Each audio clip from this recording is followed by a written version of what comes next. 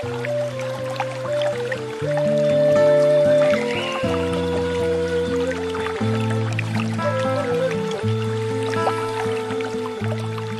الله الرحمن الرحيم الحمد لله رب العالمين والصلاة والسلام على رسولنا محمد وعلى آله وصحبه أجمعين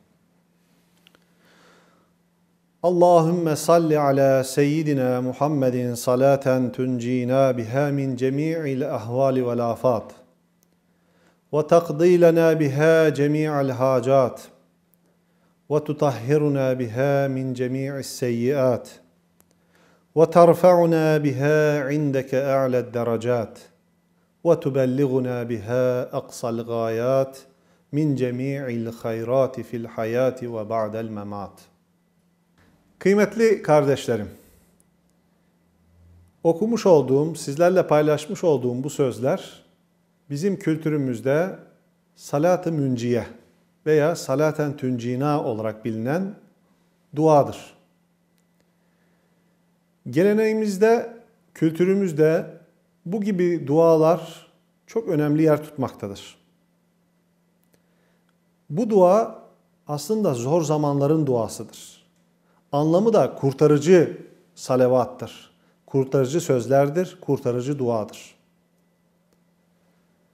Bu dua Peygamber Efendimizle bizim yakınlığımızı arttıran, Peygamber Efendimizle yakınlığımızı arttırmakla birlikte Rabbimizin bize lütuflarını, merhametini arttıran sözlerdir. O yüzden genellikle kültürümüzde, geleneğimizde namazlardan sonra okunan bir duadır bu. Salavattır diyoruz, Peygamber Efendimiz'i öven sözlerdir diyoruz ama aynı zamanda derin bir yakarıştır. Bu sözlerin aslında bir de tarihi var. Delailül Hayrat adlı dua kitabında bu sözler bulunmaktadır. Bu sözleri açıklarken de İslam alimlerinden birisi meşhur Kara Davut diye bilinen kitabında şöyle bir hikaye anlatır. Şeyh Ebu Musa Eddarir isminde bir zat gemiyle hacca yola çıkar. Bu zatın gözleri kördür, görmez. Ancak gemi denize açıldıktan sonra güçlü bir fırtına çıkar ve gemiyi batıracak duruma getirir. Batırmak üzere bir hal alır. Ve bu fırtınadan gemilerin kurtulmadığı da, kurtulamadığı da gemiciler tarafından bilinir. Böyle zor bir durumda gemideki insanlar hacca giden salih zata Ebu Musa Eddarir'e gelirler ve kendileri için kurtuluşları için bir dua da bulunmasını isterler. O esnada yüreğe geçen, rüya alemine dalan Ebu Musa Peygamber Efendimiz'i görür. Ve Peygamber Efendimiz kendisine az önce sizlerle paylaşmış olduğumuz salat-ı münciyeyi e, öğretir. Hatta bu duayı hemen okumalarını, defalarca okumalarını, bin defa okumalarını tavsiye eder.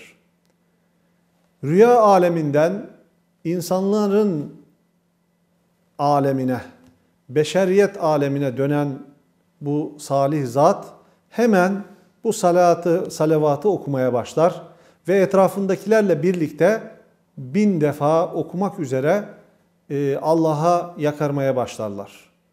Belirli bir sayıya geldikten sonra hatta bine ulaşmadan Allah kendilerini o fırtınanın, o boranın etkisinden kurtarır.